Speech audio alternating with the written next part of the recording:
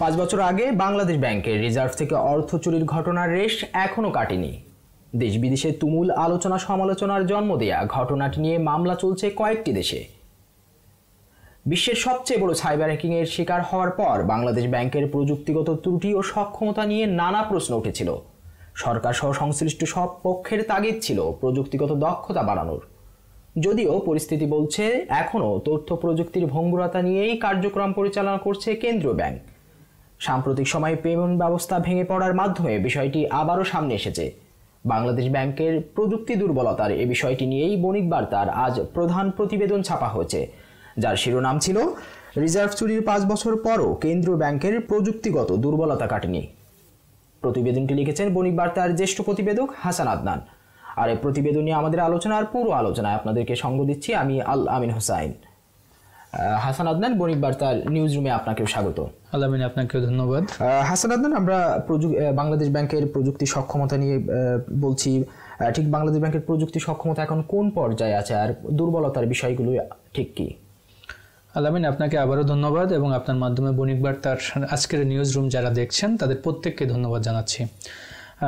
আলামিন আপনি যেমনটি বলছিলেন যে রিজার্ভ চুরির পাঁচ বছর প্রায় আমাদের পেরিয়ে গেল, আসলে রিজার্ভ চুরির যে ঘটনাটি সেটি হচ্ছে বাংলাদেশ ব্যাংকের নিরাপত্তা সাইডের। কিন্তু আমরা যে আজকের যে গল্পটি করেছি, এটি হচ্ছে সক্ষমতার বিষয়গুলো আমরা বেশিরভাগ গুরুত্ব দিয়েছি, তুলে আনার চেষ্টা করেছি। এই সক্ষমতা বলতে আমরা যেটিকে বোঝাচ্ছি সেটি হচ্ছে বাংলাদেশের ব্যাংকিং যে অবয়ব, ব্যাংকিং যে কাঠামো, আপনি জানেন যে বাংলাদেশে এখন একষট্টিটি ব্যাংক, তফসিলি ব্যাংক কার্যক্রম পরিচালনা করছে।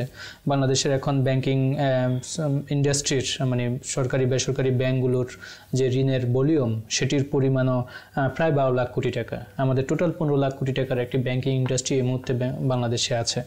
এখন এই যে ব্যাংকিং ইন্ডাস্ট্রিতে আমাদের যে, আমরা বিশেষত যে যে ঘটনার প্রেক্ষিতে আজকের এই প্রতিবেদনটিকে আমরা অনুসন্ধান করার চেষ্টা করা, এই গল্পটি অনুসন্ধান করে নিয়ে আসার চেষ্টা করেছি, সেটি হচ্ছে, সাম্প্রতিক সময়ে আপনি জানেন যে গত তেরোই এপ্রিল বাংলাদেশ ব্যাংকের পেমেন্ট ব্যবস্থা একেবারে প্রায় অকার্যকর হয়ে পড়ে। বিশেষ করে বাংলাদেশে আপনি জানেন যে আমাদের আন্তঃব্যাংক চেক চেক নিষ্পত্তির মাধ্যম যেটি, সেটি হচ্ছে বাংলাদেশ অটোমেটেড ক্লিয়ারিং হাউস বা যেটাকে আমরা সংক্ষেপে বিএসিএইচ ব্যাচ বলি।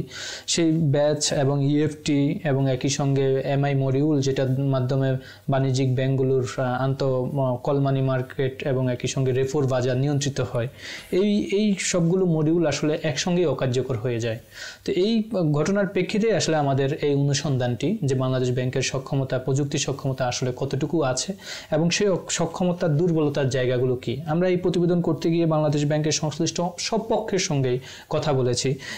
বাংলাদেশ ব্যাংকের তিনটি বিভাগ আসলে এই ক্ষেত্রে যুক্ত। আমরা আজকের প্রতিবেদনে সম- এইটি করতে গিয়ে আমরা আসলে সংশ্লিষ্ট এই তিনটি বিভাগের সঙ্গে যারা যুক্ত, তাদের যারা নীতি নির্ধারক আছেন, নির্বাহী পরিচালক আছেন, মহাব্যবস্থাপক আছেন এবং এবং একই সঙ্গে অন্যান্য নিচের দিকে যারা দায়িত্ব পালন করেন, তাদের সঙ্গে কথা বলেছি। একই সঙ্গে বাংলাদেশ ব্যাংকের ব্যান্ডার প্রতিষ্ঠান হিসেবে যারা কাজ করেন, তারা বাংলাদেশের প্রযুক্তিবিদ যারা আছেন, তাদের সঙ্গে কথা বলছি। বিটিসিএল এর সঙ্গে কথা বলেছি। বিটিসিএল এর কর্মকর্তারা আসলে কি ধরনের সমস্যা হয় এক্ষেত্রে, সেটিও আমরা তুলে আনার চেষ্টা করেছি। তো আমরা সব মিলিয়ে যেটা দেখেছি, সেটি হচ্ছে আসলে এই ক্ষেত্রে যতটা প্রযুক্তি দক্ষতা, সক্ষমতা আছে, সেই তার চেয়ে বড় বিষয়টি যেটি গুরুত্বপূর্ণ মনে হয়েছে, সেটি হচ্ছে বাংলাদেশের ব্যাংকিং ইন্ডাস্ট্রির এই মুহূর্তে যে ভলিউম ওই ভলিউমকে আসলে নিয়ন্ত্রণ করার জন্য বা পেমেন্টের যে চাপ, এই চাপকে সব হ্যান্ড চাপকে ম্যানেজমেন্ট করার মতো যে বিনিয়োগ দরকার, যে ধরনের প্রযুক্তিগত সক্ষমতা দরকার, সেই সক্ষমতাটি আসলে গত কয়েক বছরে বাংলাদেশ ব্যাংকের খুব একটি বাড়েনি। কিন্তু প্রতিনিয়ত তো আমাদের লেনদেন পরিস্থিতি বেড়েছে। আহ, হাসান আদনান আপনি যেমনটি বলছিলেন যে বাংলাদেশ ব্যাংকের যে প্রযুক্তি সক্ষমতা সেটি আসলে বাড়ানো যায়নি। এখন সেক্ষেত্রে যদি আমরা প্রশ্ন করি যে রিজার্ভ চুরির পাঁচ বছর পরেও কেন এই সমস্ত প্রযুক্তি সক্ষমতা বাড়ানো যায়নি একই সঙ্গে কেন দুর্বলতাগুলো এখনও কমানো যায়নি? আলামিন, আম- আমরা আজকের প্রতিবেদনে লিখেছি যে বাংলাদেশ ব্যাংকের আসলে যে সামগ্রিক অটোমেশনের যে প্রক্রিয়া, এই প্রক্রিয়াটি আসলে দু হাজার তিন সালে উদ্যোগ নেওয়া হয়েছিল। বিশ্ব ব্যাংকের সিবিএসপি নামে একটি প্রজেক্টের অংশ হিসাবে বাংলাদেশ ব্যাংকের পেমেন্ট ব্যবস্থা থেকে শুরু করে বাংলাদেশ ব্যাংকের অভ্যন্তরীণ সকল কর্মকাণ্ড আসলে পেপারলেস প্রক্রিয়ায় নিয়ে যাওয়ার একটি উদ্যোগ নেওয়া হয়েছিল সেই প্রকল্পের মাধ্যমে। এবং পরবর্তীতে প্রকল্পটি শেষ হলেও বাংলাদেশ ব্যাংক এই প্রকল্প এই প্রকল্প বা প্রজেক্ট যেটি ছিল সেটিকেই বাংলাদেশ ব্যাংক এখনও পর্যন্ত মানে দুই হাজার উনিশ সাল পর্যন্ত মেয়াদ বৃদ্ধি করে আসলে টেনে এনেছে এবং বাংলাদেশ ব্যাংকের সামগ্রিকভাবে অবয়ব চেঞ্জ করার চেষ্টা করেছে। কিন্তু আসলে যতটুকু চেষ্টা করেছে সেটি আসলে বাস্তবতার আলোকে কতটুকু আসলে বাস্তবায়ন হলো সেটি নিয়ে যথেষ্ট প্রশ্ন আছে। আজকে আমরা এই প্রতিবেদনটি শুরু করেছি যে বিষয়টি দিয়ে, সেটি হচ্ছে বাংলাদেশের যে অন্যতম একটি লেনদেন মাধ্যম যে ইলেকট্রনিক ফান্ড ট্রান্সফার বা ইএফটি ইএফটি দিয়ে। আপনি জানেন যে আমরা এই ইএফটিটি কার্যক্রম শুরু করে বাংলাদেশ ব্যাংক দুই হাজার এগারো সালে। কিন্তু এই সময়ে মানে গত এক দশকে আসলে এটির খুব বেশি উপযোগিতা কিংবা এটার যে লেনদেনের ভলিউম, সেটার কিন্তু আঙ্গিক বা পরিমাণ কিন্তু খুবই কম ছিল। কিন্তু আমরা যেটা দেখেছি যে গত এক বছরের ব্যবধানে যখন আমাদের করোনা মহামারীর মতো এরকম একটি বৈশ্বিক মহামারী আঘাত হানলো এবং সাধারণ মানুষ ব্যাংকে না গিয়ে আসলে অনলাইন ব্যবস্থার মাধ্যমে লেনদেনে অভ্যস্ত হয়ে ওঠা শুরু করল এবং পাশাপাশি হচ্ছে ইএফটির কার্যক্রম পরিসরটাই বাংলাদেশ ব্যাংকের দিক থেকে অনেক বেশি যখন বড় করা হলো, বাংলা ইএফটির মাধ্যমে যখন সামাজিক যে দুস্থ ভাতা যেগুলো আছে, নিরাপত্তা ভাতা, সেই ভাতাগুলো বিতরণ করা শুরু হলো, বেতন বিতরণ করা শুরু হলো, সেই সেই পরিস্থিতির থেকে আসলে ইএফটির লেনদেনটা অনেক বেড়ে গিয়েছে এবং একই সঙ্গে আপনি জানেন যে ব্যাংকগুলো প্রায় দেশের বেশিরভাগ ব্যাংকই এখন তাদের লেনদেনকে মানে তাদের অ্যাপ ভিত্তিক লেনদেনে রূপান্তরিত করেছে এবং অ্যাপ ভিত্তিক লেনদেনের একটি বড় পোর্শন কিন্তু এই ইএফটির মাধ্যমে হয়। তো এখন যেটি দেখা যাচ্ছে যে দুই গত বছরের জানুয়ারিতে যখন ইএফটির মাধ্যমে যে ব্যাংকিং খাতে লেনদেন হচ্ছিল মোটামুটি সতেরো হাজার কোটি টাকার মতো, জানুয়ারি মাসে, এক মাসের লেনদেন। কিন্তু আমরা যেটা দেখেছি, এই বছরের জানুয়ারিতে এসে সেই লেনদেনের পরিমাণ বত্রিশ হাজার কোটি টাকা ছাড়িয়ে গিয়েছে। তো তার মানে হচ্ছে যে লেনদেন যখন দ্বিগুণ হয়ে গিয়েছে এবং একই সঙ্গে গত তেরো এপ্রিল আপনি জানেন যে বাংলাদেশ ব্যাংক থেকে বা সরকার থেকে একটি ডিক্লারেশন এসেছিল যে ব্যাংক বন্ধ থাকবে টানা আট দিন।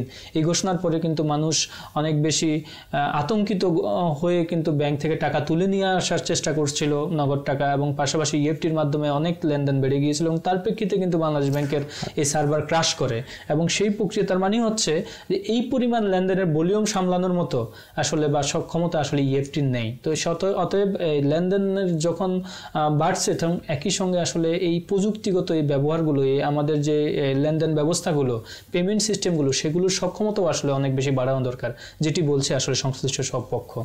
আদনান আপনি আপনার আলোচনায় যেমনটি বলছিলেন যে অ্যাপ ভিত্তিক লেনদেন বাড়ছে প্রযুক্তির ব্যবহার বাড়ছে সেক্ষেত্রে আমরা তো চাই না যে রিজার্ভ চুরির মতো আরও একটি ঘটনা বা আরও একটি এরকম ধরনের ঝুঁকির মধ্য দিয়ে বাংলাদেশ ব্যাংক থাকুক সেক্ষেত্রে আপনি বিশেষজ্ঞদের সাথে কথা বলেছেন ঠিক তাদের পরামর্শটা কি?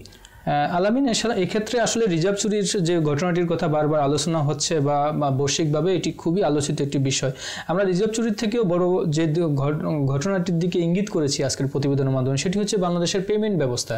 আমরা আজকের প্রতিবেদনে লিখেছি যে সংশ্লিষ্ট সব পক্ষই বলছে, আসলে বাংলাদেশ ব্যাংক প্রতিষ্ঠার পর থেকে পঞ্চাশ বছরে আসলে এভাবে পেমেন্ট ব্যবস্থা অকার্যকর হয়ে যায়নি, যেটি গত তেরো এপ্রিল থেকে টানা দুই দিন আসলে এটি দুই কর্মদিবস অচল অবস্থা ছিল এবং তেরো এপ্রিল ছিল মঙ্গলবার আর রোববার নাগাদ এসে আসলে বাংলাদেশের লেনদেন ব্যবস্থা অনেকটাই স্বাভাবিক হয়ে এসেছে। তো এখন এটি তো একটা অবস্থা একটা বড় ঝুঁকি গেল বা ধাক্কা বাংলাদেশ ব্যাংক পেল। কিন্তু যদি অন্য একটা আপনি একটু বলছিলেন যে বাংলাদেশ ব্যাংকের অনেক প্রযুক্তি ভেন্ডর প্রতিষ্ঠান দিয়ে করা হয়। সেই ভেন্ডর প্রতিষ্ঠানের মাধ্যমে করানোর ক্ষেত্রে এক ধরনের নিরাপত্তা ঝুঁকি তো থাকে।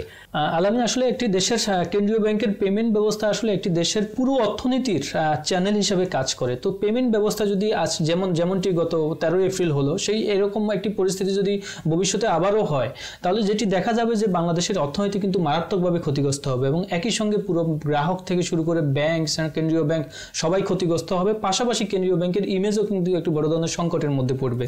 আপনি যেমনটি বলছিলেন যে প্রশ্নটি করছিলেন যে বাংলাদেশ ব্যাংকের বেশিরভাগ কাজই এখনও ব্যান্ডর প্রতিষ্ঠান দিয়ে করে। প্রতিবেদনে বাংলাদেশ ব্যাংকের ভ্যান্ডর প্রতিষ্ঠানগুলোর নাম লিখেছে এবং তারা কে কোন ধরনের সাপোর্ট বাংলাদেশ ব্যাংকে দিয়ে যায় সেটিও আমরা বলেছি।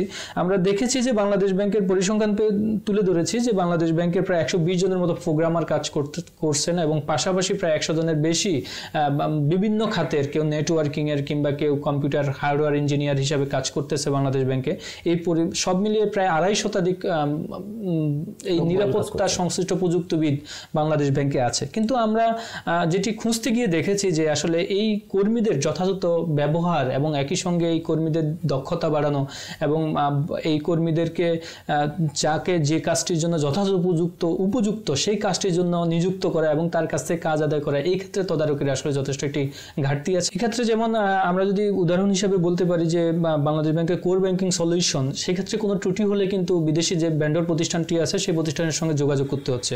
আর এই যোগাযোগ করতে গিয়েও তাদের সঙ্গে যোগাযোগ করার জন্য বাংলাদেশ ব্যাংকের একদম শীর্ষ ব্যবস্থাপনা কর্তৃপক্ষ কর্তৃক অনুমোদনের দরকার হচ্ছে এবং সেই অনুমোদন থেকে শুরু করে সেই ভেন্ডর প্রতিষ্ঠান কাজ করতে এসে কাজ সব কিছু শেষ করা বা কাজটিকে সেটি সময় সাপেক্ষ বিষয়। তো এই ক্ষেত্রে আসলে বাংলাদেশ ব্যাংকের কর্মকর্তারাই বলছেন যে বাংলাদেশ ব্যাংকের আসলে অভ্যন্তরীণ সক্ষমতা অনেক বেশি বাড়ানো দরকার।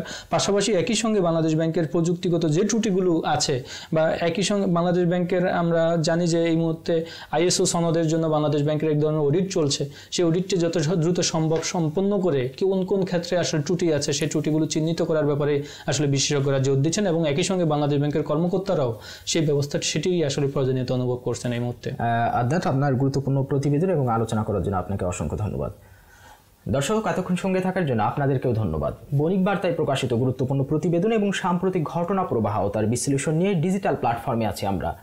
আর ডিজিটাল মাধ্যমের এসব পর্যালোচনামূলক অনুষ্ঠান দেখতে যোগ দিন আমাদের ফেসবুক ও ইউটিউব চ্যানেলে জানান আপনার মতামত।